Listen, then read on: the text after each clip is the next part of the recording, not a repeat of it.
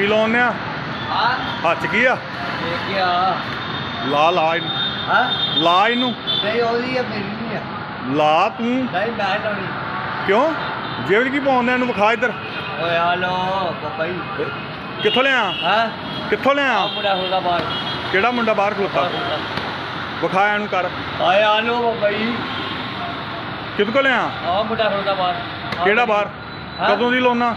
ਮੈਨੂੰ 5 ਸਾਲ ਹੋ ਗਏ ਨੇ। ਮੈਨੂੰ ਬਿਮਾਰੀ ਹੈ। ਰੇਡ ਦੀ ਬਿਮਾਰੀ ਆ ਠੀਕ ਆ। ਤੇ ਫਿਰ ਲੋਨਾ ਕਿਉਂ ਆ? ਬਾਬਾ ਜੀ ਕੀ ਕਰੀਏ? ਨਹੀਂ ਜਾਏ। ਦਵਾਈ ਵੀ ਲਾਣਾ ਹੈਂ? ਭਾਈ ਦੂਜੀ ਗੱਲ ਨਹੀਂ ਪਰ ਜਾਏ। ਹੱਥ ਨਾਲ ਲਾ ਸਾਨੂੰ। ਲਾ ਟੀਕਾ ਲਾ। ਲਾਉਂਦਾ ਨਹੀਂ ਹੁਣ? ਲਾਉਂਦਾ ਨਹੀਂ ਹੁਣ ਟੀਕਾ? ਤਾਂ ਮੈਂ ਤੁਹਾਡੇ ਸਾਹਮਣੇ ਕਿਉਂ? ਕਿਉਂ? ਲਾ ਹੁਣ। ਲਾ ਕੇ ਜਾ।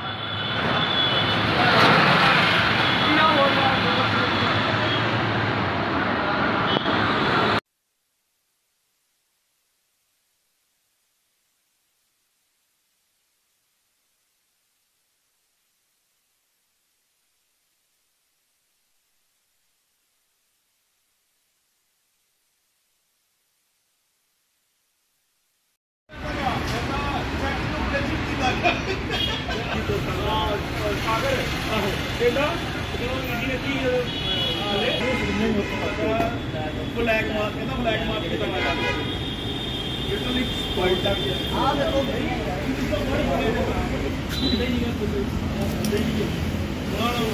ਆਪਣੇ ਆਪ ਆਇਆ ਮਾਰੇ ਲੈ ਲਿਆ ਰੇ ਸਾਰੇ ਡਰਾਈਵਰ ਤਾਂ ਕਿ ਆਪਣਾ ਮੈਂ ਆਪਣੇ ਨਾਲ ਜਾ ਕੇ ਆਮ ਰਿਜ਼ਲਟ ਹੀ ਆਇਆ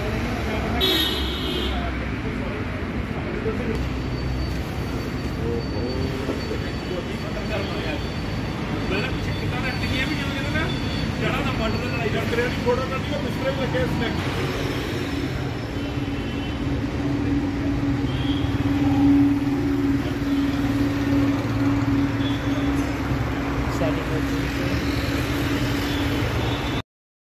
ਹਾਂਜੀ ਭਾਜੀ ਲਗਾਤਾਰ ਹੀ ਇਸ ਜਗ੍ਹਾ ਦੇ ਉੱਤੋਂ ਤੁਸੀਂ ਨਸ਼ਾ ਕਰਦੇ ਯੁਵਕਾਂ ਨੂੰ ਫੜਦੇ ਪਏ ਜੇ।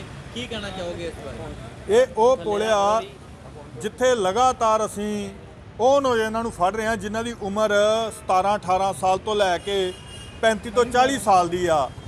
ਜਿਹੜੇ ਇਸ ਪੁਲ ਦੇ ਉੱਤੇ ਲਗਾਤਾਰ ਆਣ ਕੇ ਨਸ਼ਾ ਕਰ ਰਹੇ ਆ ਤੇ ਅਸੀਂ ਪ੍ਰਸ਼ਾਸਨ ਨੂੰ ਬਾਰ-ਬਾਰ ਕਹਿ ਰਹੇ ਹਾਂ ਵੀ ਇਸ ਇਲਾਕੇ 'ਚ ਜਿਹੜਾ ਨਸ਼ੇ ਦੀ ਭਰਮਾਰ ਆ, ਨਸ਼ਾ ਧੜੱਲੇ ਨਾਲ ਵਿਕ ਰਿਹਾ ਤੇ ਪ੍ਰਸ਼ਾਸਨ ਕਹਿ ਰਿਹਾ ਵੀ ਸਾਡੇ ਇਲਾਕੇ 'ਚ ਨਸ਼ਾ ਨਹੀਂ ਵਿਕ ਰਿਹਾ। ਅਸੀਂ 3 ਦਿਨ ਪਹਿਲਾਂ ਵੀ ਇਸ ਜਗ੍ਹਾ ਤੇ ਸਟਿੰਗ ਆਪਰੇਸ਼ਨ ਕੀਤੇ ਕੱਲ ਵੀ ਸਟਿੰਗ ਆਪਰੇਸ਼ਨ ਕੀਤਾ ਤੇ ਅੱਜ ਵੀ ਜਿਹੜਾ ਇਸ ਜਗ੍ਹਾ ਤੇ ਸਟਿੰਗ ਆਪਰੇਸ਼ਨ ਕੀਤਾ। ਪਰ ਪ੍ਰਸ਼ਾਸਨ ਇਹ ਗੱਲ ਨੂੰ ਮੰਨਣ ਨੂੰ ਤਿਆਰ ਨਹੀਂ ਵੀ ਇਸ ਜਗ੍ਹਾ ਦੇ ਉੱਤੇ ਜਿਹੜਾ ਨਸ਼ਾ ਵਿਕ ਰਿਹਾ। ਪਰ ਲਗਾਤਾਰ ਸਾਨੂੰ ਇਸ ਜਗ੍ਹਾ ਤੋਂ ਨਵੀਆਂ ਸਰਿੰਜਾਂ, ਨਵੇਂ ਜਿਹੜੇ ਡਰੱਗ ਜਿਹੜਾ ਇੱਥੋਂ ਮਿਲ ਰਿਹਾ, ਨਵੇਂ ਲੋਕ ਇਸ ਜਗ੍ਹਾ ਤੇ ਆਣ ਕੇ ਜਿਹੜਾ ਵਾ ਨਸ਼ਾ ਕਰ ਰਿਹਾ। ਪਰ ਪ੍ਰਸ਼ਾਸਨ ਆਖੇ ਲੱਗਣ ਨੂੰ ਤਿਆਰ ਨਹੀਂ ਕਿ ਇਸ ਜਗ੍ਹਾ ਤੇ ਜਿਹੜਾ ਨਸ਼ਾ ਵੇਚ ਰਿਹਾ। ਅਸੀਂ ਲਿਸਟਾਂ ਤੱਕ ਬਣਾ ਕੇ ਦੇ ਦਿੱਤੀਆਂ ਵੀ ਕਿਹੜੇ ਇਲਾਕੇ 'ਚ ਕੌਣ-ਕੌਣ ਜਿਹੜਾ ਵਾ ਨਸ਼ਾ ਵੇਚ ਰਿਹਾ। ਪਰ ਪ੍ਰਸ਼ਾਸਨ ਜਿਹੜਾ ਵਾ ਕਿਤੇ ਨਾ ਕਿਤੇ ਘੂਕ ਨਹੀਂ ਸੁੱਤਾ ਤੇ ਉਹਨਾਂ ਤੇ ਕਾਰਵਾਈ ਨਹੀਂ ਕਰ ਰਿਹਾ। ਸਗੋਂ ਸਾਨੂੰ ਇਹ ਗੱਲ ਕਹਿੰਦਾ ਵੀ ਜਿਹੜੇ ਬੰਦਿਆਂ ਦੀ ਤੁਸੀਂ ਸਾਨੂੰ ਲਿਸਟ ਦੇ ਰਹੇ ਹੋ, ਉਹਨਾਂ ਦੇ ਕੱਲੇ-ਕੱਲੇ ਤੇ ਜਿਹੜਾ ਬਾਈ-ਬਾਈ ਪਰਚੇ ਆ, ਤੇ ਉਹਦੇ 'ਚ ਸਾਡਾ ਕਸੂਰ ਨਹੀਂ, ਇਹਦੇ 'ਚ ਪ੍ਰਸ਼ਾਸਨ ਦਾ ਫੇਲੀਅਰ ਆ, ਕਿਉਂਕਿ ਪ੍ਰਸ਼ਾਸਨ ਉਹਨਾਂ ਦੇ ਉੱਤੇ ਕੋਈ ਇਹੋ ਜਿਹਾ ਧਾਰਾ ਨਹੀਂ ਲਗਾ ਸਕਿਆ ਵੀ ਜਿਹੜੇ ਉਹ ਬਾਈ ਪਰਚਿਆਂ ਤੱਕ ਪਹੁੰਚ ਗਏ ਤੇ ਅੱਜ ਵੀ ਬਾਹਰ ਆਣ ਕੇ ਜਿਹੜਾ ਨਸ਼ਾ ਵੇਚ ਰਿਹਾ ਜੀ, ਤਾਂ ਹੁਣ ਇਸ ਸੰਬੰਧੀ ਜਿਹੜੀ ਵੀਡੀਓ ਕੱਲ ਸਾਹਮਣੇ ਆਈ ਸੀ, ਜਿਸ ਵਿੱਚ ਨੌਜਵਾਨ ਨਸ਼ਾ ਕਰਦੇ ਦਿਖਾਈ ਦੇ ਰਹੇ ਕੀ ਇਸ ਸੰਬੰਧੀ ਪੁਲਿਸ ਨੂੰ ਦੁਬਾਰਾ ਸੂਚਿਤ ਕੀਤਾ ਗਿਆ ਹੈ ਜਾਂ ਨਹੀਂ? ਬਿਲਕੁਲ ਜੀ, ਬਿਲਕੁਲ। ਐਸਐਚਓ ਸਾਹਿਬ ਨੂੰ ਅਸੀਂ ਮਿਲੇ ਸੀਗੇ। ਐਸਐਚਓ ਸਾਹਿਬ ਨੇ ਆਪਣੀ ਵੀ ਵਿਡੰਬਣਾ ਦੱਸੀ ਆ ਵੀ ਮੈਂ ਲਗਾਤਾਰ ਜਿਹੜਾ ਇਹਨਾਂ ਪੁਲਾਂ ਦੇ ਉੱਤੇ ਨਿਗਰਾਨੀ ਰੱਖ ਰਿਹਾ, ਪਰ 2-4 ਦਿਨ ਜਿਹੜਾ ਵਾਰ ਜਿਵੇਂ ਇਹੋ ਜਿਹੇ ਹੋ ਗਏ ਵੀ ਲਗਾਤਾਰ ਸਾਨੂੰ ਬਾਹਰ ਜਾਣਾ ਪਿਆ। ਜਦੋਂ ਦਾ ਇੱਥੇ ਹਮਲਾ ਹੋਇਆ ਗੈਂਗਸਟਰਾਂ ਦਾ ਤੇ ਮੁਤਭੇੜ ਹੋਈ ਸੀ ਜਿਹੜੀ ਪੁਲਿਸ ਵਾਲਿਆਂ 'ਚ, ਤੇ ਉਹ ਗੈਂਗਸਟਰਾਂ ਦੇ ਪਿੱਛੇ ਅਸੀਂ ਲੱਗੇ ਹੋਏ ਆ ਤੇ ਥੋੜੀ ਪੁਲਿਸ ਪ੍ਰਸ਼ਾਸਨ ਦੇ ਵਿੱਚ ਢਿੱਲ ਆਈ ਆ। ਤੇ ਇਸ ਕਰਕੇ ਜਿਹੜਾ ਵਾ ਇਹਨਾਂ ਪੁਲਾਂ ਦਾ ਖਿਆਲ ਨਹੀਂ ਰੱਖਿਆ ਗਿਆ। ਪਰ ਮੈਂ ਉਹਨਾਂ ਨੂੰ ਇੱਕ ਗੱਲ ਕਹਿਣਾ ਚਾਹੁੰਦਾ ਵੀ ਸਾਰਾ ਥਾਣਾ ਤੇ ਨਹੀਂ ਇਸ ਕੰਮ 'ਚ ਲੱਗ ਗਿਆ ਸੀਗਾ।